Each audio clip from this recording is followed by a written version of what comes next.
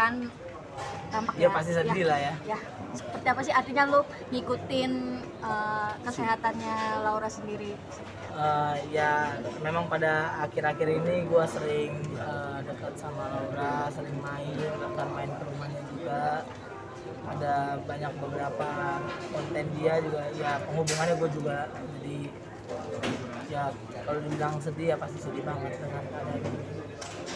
Pertama kali dapat info aku pertama kali dapat info dari kakaknya langsung jam 9 10 kurang. Jam 10 kurang dan uh, situ gua kaget banget karena sebelumnya memang uh, Laura tuh ketemu sama Bang Densu dan Bang Densu Margo untuk untuk konten di sana untuk ceritain apa yang dia alami dan memang sangat mendadak.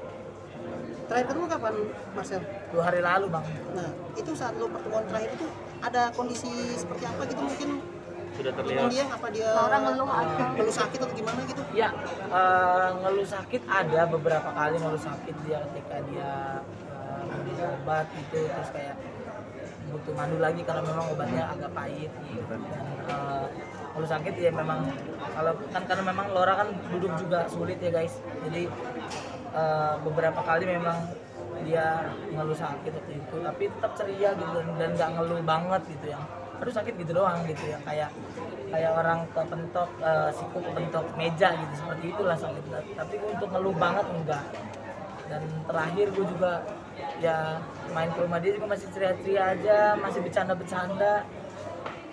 Ya seperti pada umumnya lah orang ketika bisa dibilang bukan sakit serius bilang bisa bilang seperti itu Iya kamu pikir memang tidak sakit serius deh seperti itu. enggak maksudnya dalam keadaan kan bisa secara mendadak apa dia mengeluh yang serius apa sesak Oh nafas enggak. gitu gitu nggak ada kan Enggak enggak enggak enggak mengeluh, mengeluh serius banget kayak kayak serangan jantung. Ah, so kemarin Kenapa?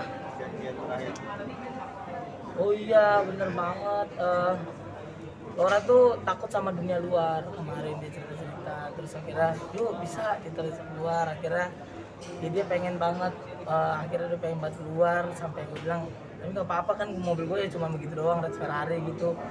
Gue bilang mobil gue mau begini nggak apa-apa yang penting keluar kita night ride. Wah. Itu eh, menurut gue sebuah apa ya seneng juga gue dengernya karena memang dia pengen keluar akhirnya dan dan pengen senang-senang lagi gitu. Tapi ya mungkin kita akan night ride di surga nanti.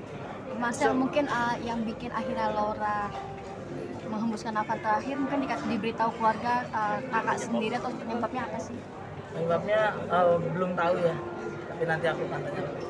Tapi uh, di, sempat dibawa ke rumah sakit atau seperti apa sih? Sempat dibawa ke rumah sakit dulu kak jam jadi Laura tuh jam eh, 7 mengeluhkan sakit itu Eh, habis itu jam setengah delapan langsung dibawa ke rumah sakit.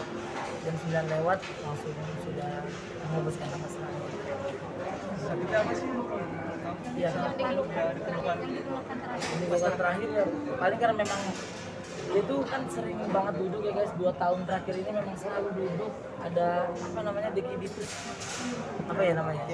Iya. Itu jadi ada jadi untuk duduk itu sakit banget itu sih yang dikeluhkan setiap dia duduk setiap dia eh, ini ya selalu itu dulu dan dan waktu itu sempat kayak dia akan kita operasi lah gitu memang akhirnya dia sekarang sudah menghabiskan nafas terakhir dan so sempat bawain uang 250 juta itu donasi dari yayasan atau gimana sih ceritanya? Ya, eh, sebenarnya ini tidak mau dipublish ya teman-teman. Sebenarnya Om Deddy juga nggak mau banget ini dipublish ke semua orang karena memang eh, beliau sangat sangat kayak gue nggak mau gue jadi jadi orang yang kontennya giveaway gitu.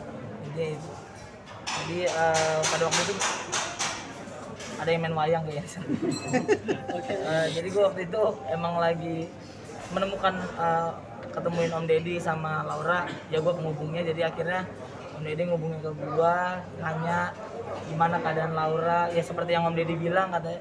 Ya persis seperti itu bahwa Laura tuh nggak mau banget dikasihanin dan Laura tuh nggak mau kayak ya dengan keadaannya dia sekarang yang membuat orang kayak oke lah gue bantuin lah inilah. Karena dia punya sendiri gitu punya sendiri eh, hal yang bisa membuat dia hidup. Ada jualan lau dia eh, ada juga eh, Instagramnya gitu. Sampai akhirnya gue bilang sama dia gitu kata Laura kayak gue enak banget gitu gitu sampai akhirnya udah pada denger belum sih VN-nya ya udah Iya, udah udah. udah denger ya. Itu eh, VN yang gue kasih ke Om Deddy. Dan memang sebegitu mulianya hatinya ya buat ya kita tahu lah maksudnya ketika gue pribadi ketika gue menghadapi sakit mungkin seperti beliau gitu kayak ya gue pasti akan nerima ini gitu. Tapi dia sampai mikir kayak Sel kita kan pengen Natal nih yaudahlah kita kasih ke anak-anak aja deh anak panti kita beliin mainan. Biar mereka bisa nikmatin kesenangan di masa hidupnya gitu. Gue bilang oh iya lau. Siap lau bilang. Kita akan lakuin ini lah gitu. sampai akhirnya ya memang itu memang dari Yayasan Om Deddy Indonesia pasti bisa.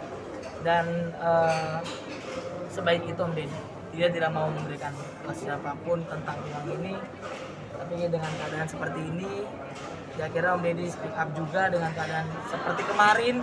Ketika viewers banyak trending satu selama empat hari banyak banget juga yang ngetik-ngetik bilang ah AdSense-nya ke mana nih? Apakah tidak dikasih ke Laura dan sebagainya. Om Deddy nahan banget. Sampai akhirnya tadi mungkin ya memang harus diceritakan karena memang itu uh, uang dari yayasan karena memang harus diketahui bahwa memang uang itu sampai ke Laura dengan baik dan benar tidak ada kurang sedikit pun. Ya aku tidak ngambil 200 kok itu 300 doang. Tapi niatan Mas, itu akan mungkin, akan eh, kan- terrealisasikan nggak sih? siapa dulu Niatan itu akan terrealisasikan Akan dilanjutkan nggak yang untuk- buat oh, ya, bagi-bagi ke anak akan yatim. dilanjutkan akan dilanjutkan tapi eh, kita tidak tahu kapan secepatnya. Ya, ada cita-cita yang belum tersampaikan sih dari Laura yang cerita dia bilang dia pengen setidaknya pengen jalan. Jadi dan memang kakaknya Laura juga ya kita kemarin kan dua hari sebelumnya kita udah ngobrol-ngobrol gitu akan ngapain nih?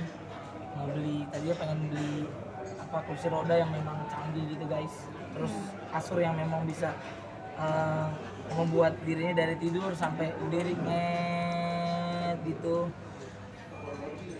Tapi ya waktu berkata lain Tuhan berkata lain seperti ini Oke, Marcel te- dengan teman-teman selebgram sendiri artinya mengawal kasus, artinya kan kasus masih terus berjalan. Lo seperti apa dengan teman-teman sendiri? ya benar sekali.